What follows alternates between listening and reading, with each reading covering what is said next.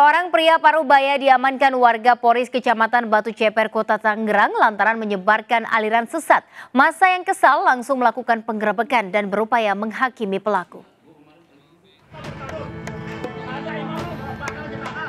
Beginilah rekaman video amatir saat sejumlah warga mengamankan seorang pemuda bernama Ahmad Faisal karena menyebarkan aliran sesat di Poris Batu Ceper, Tangerang, Banten.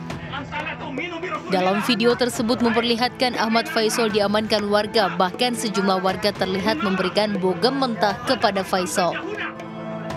Menurut warga, pelaku sering menyebarkan selebaran menyesatkan. Tak hanya itu, syahadat dalam ajaran tersangka juga berbeda pada umumnya. Bahkan menurut warga, ajaran Faisal, sholat Jumat dilakukan pada hari Sabtu. Penyebaran ajaran sesat yang dilakukan tersangka sudah berlangsung hampir dua pekan. Emang kebetulan sehari yang lalu ketua DKM ngelapor ke RW uh, eh, karena seminggu dia udah ngeresahin dakwah siar agama gitu di sini? Iya dia nyebarin selebaran yang menyimpang agama Islam. Sementara usai dihakimi warga sekitar, selanjutnya Ahmad Faisal langsung dibawa ke Mapolsek Cipondo, Tangerang guna menjalani penyelidikan. Dari Tangerang, Aimarani, Ainius melaporkan.